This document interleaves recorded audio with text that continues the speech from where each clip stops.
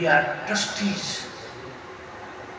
Undoubtedly, we inherited a damaged planet. But we were careless and did not take cognizance of the damage. Either we were committing or others were committing and we could stop in time. We did not stop in time. But now the awareness is universal. Convergence is universal. Synergy is all pervasive. We are on the moment. It has taken off.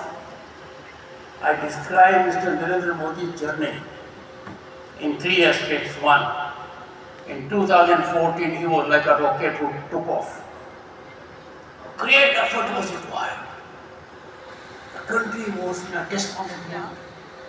Its object was to generate an atmosphere of hope and possibility. The gap was large. 2014 compared to